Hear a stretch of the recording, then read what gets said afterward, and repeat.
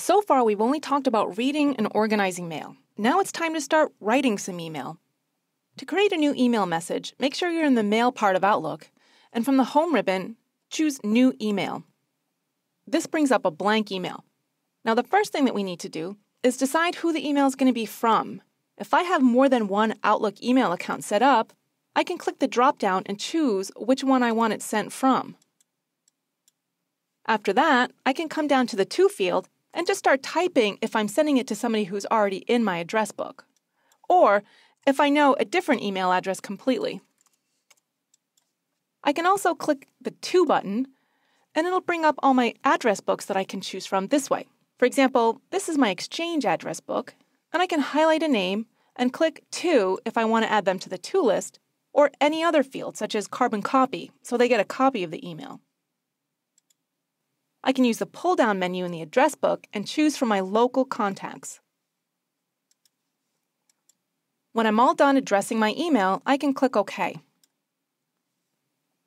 As you can see, I've accidentally put the same email in here twice, so all I have to do is hit the delete key and it removes the email from the to list.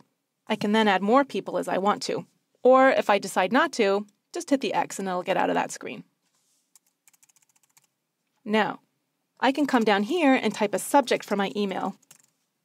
I can put the cursor in the body field and simply start typing the body of my email.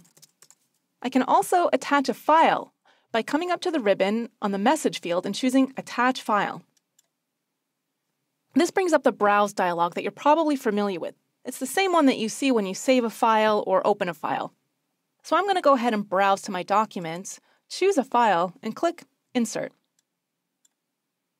Now, at this point, if I was ready to go, I could simply click Send and my email would send. However, if I want to save the email or just delete it entirely, I can come up here to the top right and just hit the X.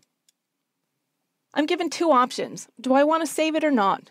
If I select no, the email is deleted and it's like it never was.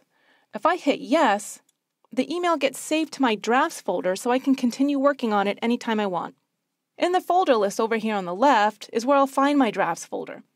I can click on it, find my email, double click on it, and it brings it back up just like it was. I can continue working on it as normal. The last thing I can do is check it for spelling before I send it. I'm going to go to the Review tab and choose Spelling and Grammar. It's going to do a quick spell check on my document, and I can click OK when it's done. Now all I have to do is hit Send, and off my email goes. If I want to see it, I can simply go to my sent items in my folder list, and the email will appear as soon as it gets sent. This way I'll know that it really got sent out. Once the email appears in my folder list, I knew it got sent out correctly. So that was the most basic steps to create a mail message. We're going to talk about how to format it to make it look really pretty in a later video.